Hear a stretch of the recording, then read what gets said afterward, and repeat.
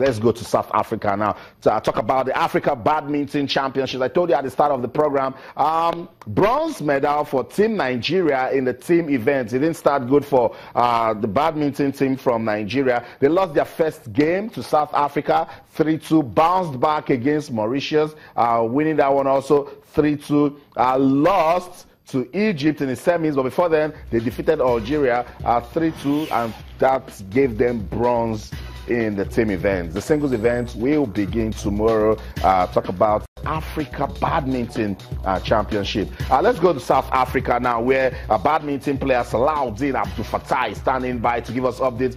Good evening, Abdul Fattah. Welcome to the show. Good evening, sir. Okay, good to have you on the program. Run us through uh, the, what the experience has been like for Team Nigeria at the Africa Badminton Championship. I can't hear you well. Uh, talk us through what your teammates, yourself have been through at the ongoing Africa Badminton Championship. Uh, all right. Um, we, from the chat, we are in a group, they call it Group of Death, comprised of four, four countries, while the other group comprises of five. Then I'm around the group. Nigeria is ranked sixth in the Africa, while the Mauritius, Egypt, Australia are ahead of us, and we fall into the same group. So it's not it's not an easy run. Mm. Mm. We, due to the fact we, is comprised of just two ladies and and four boys, so we don't have any substitute mm. in the team. I, we thank God we are able to to cope and came out of the group. And actually winning winning bronze on the team events is actually is a good one. Okay, in the team events, bronze medal, good. Our singles events will begin tomorrow. What should we be expecting uh, from your team? Uh, we should be expecting gold from the team, hopefully from the ladies and the boys we should be expecting more goals. We, today we are tired. After the, the game, we did not have any rest. We start the semi-finals at let's say less than an hour. We are called back to the court. The ladies are tired. We really came with only two ladies, so we don't have any options. So they, we don't have any substitutes. They, they have to keep playing. So that's why. But I will believe in the individual event Mm. We've rested enough for tomorrow.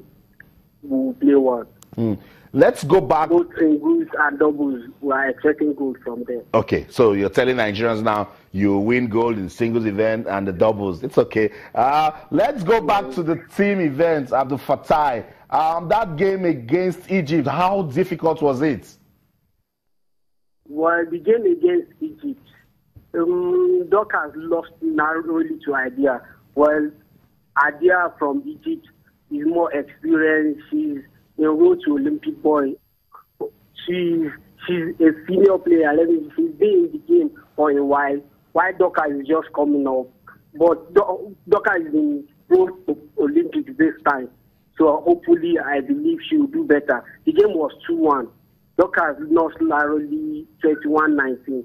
So hopefully, in the individual, she will be able to defeat her because she has gotten the confidence that she's not better at all. All right, thank you so much, uh, Salahuddin Abdul Fattah, for giving us updates from the Africa Badminton Championship. We want to wish you and your uh, teammates all the best. Thank you. So that's it. Uh, Nigerian player uh, Salahuddin Abdul Fattah, they represented the country at the ongoing Africa Badminton Championship. 10 countries are participating in that one, and of course, they're eyeing uh, international championship qualification uh, from competing at that. So, bronze medal for Nigeria in the team event, singles event will begin tomorrow. And uh, Abdul Fattah says, Look, guys, don't worry, we'll win gold in the team event, we'll win gold also in the double sports tonight on Channels Television. Remember, you can be part of the program, Twitter channels underscore sports, Facebook channels, I think sports. We're taking a look at everything that is going down in your exciting world of sports. Let's go on a quick break now. When we come back, we'll meet officials from the Amateur Bodybuilding and Fitness Federation of Nigeria. That's when we get us, give us more reasons to talk. Don't go anywhere. Stay.